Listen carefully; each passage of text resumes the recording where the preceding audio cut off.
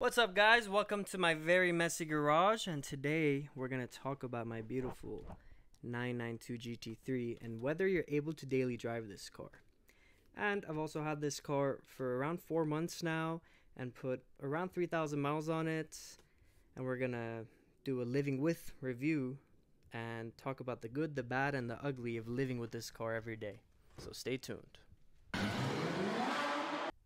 So for the first three months I had this car, I drove it daily every single day before I got my new daily, the RS7.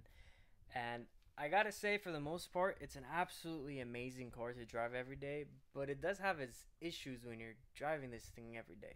The first issue is that it's not the most comfortable car in the world, obviously, right?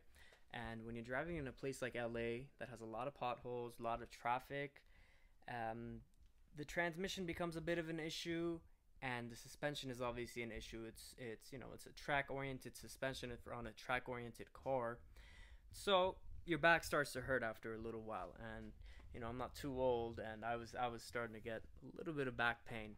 But the good thing is I don't have the bucket seats on mine, so I think if you're gonna be dailying this car, you got to make sure you don't have the bucket seats because the bucket seats will make it 10 times more uncomfortable even though it is better for resale and it's better for tracking the car.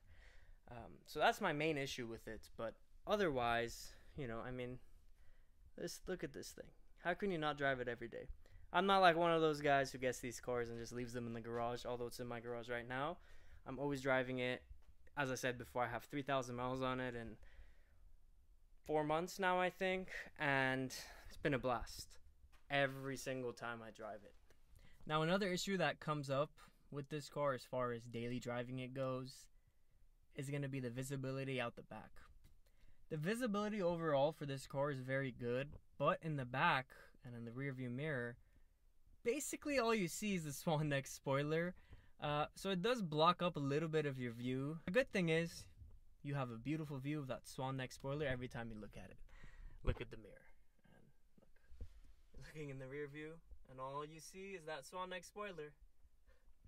Another thing I really wish was offered for this car and this car had was the front view camera and the top view camera. Now this is a wider car and it's an expensive car and it's a very low car. So when you're parking, it really helps if you have a front view camera. You don't want to be hitting the nose uh, when you're parking.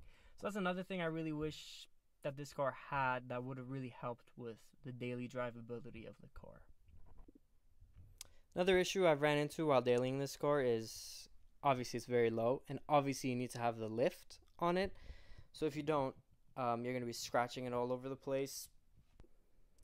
Now, as far as luggage space goes, it really honestly is not too bad. You can fit maybe two carry ons in it. Uh, so it is actually not that impractical. It is, for a supercar, it is a really practical car. And again, it's a GT3, so you could if you could daily drive a GT3, not much you can complain about. And while we're here, look at this exposed carbon on the on the hood. How beautiful is that? I don't know if my camera is really capturing it for you guys in this horrible garage lighting, but it just looks so so nice.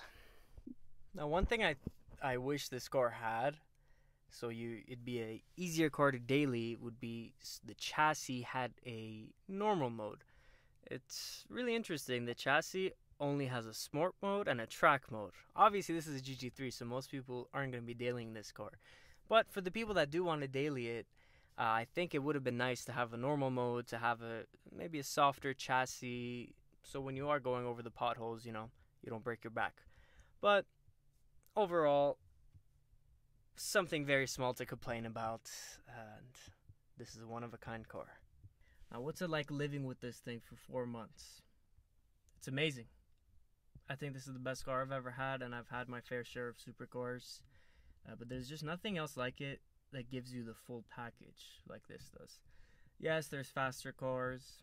Yes, there's better sounding cars, but it's just the package of this car everything it has meshes together so nicely. It's really like an art how how nice this car is from the design to the driving feel to the steering to the suspension to the handling. This is the best handling car hands down I've ever had. And I think when you put everything together, this just becomes really a one of a kind supercar uh, that a lot of these other supercars just can't match up to. Yes, for example, I had the 720S, and the 720S was mind blowingly fast, way faster than this car. But the handling was nowhere near this. The way it looked, in my opinion, was nowhere near this. Yes, it had the butterfly doors, but who cares? You know, th- this is this is beautiful. It's understated. It's not too in your face like a Lamborghini, like a McLaren, which I really love, especially in these times. Um, so, you know, if you want a car that does it all and you can daily, this is it. I mean, yes, you could go get a Turbo S, but a Turbo S is not going to sound like this. It's not going to feel like this. A Turbo S is just bland and computerized compared to this. This is naturally aspirated. It 9,000 RPM, the screaming revs when you're going through the tunnels, it's just the feeling you get is unlike anything else. Uh, I really don't know how else to explain it.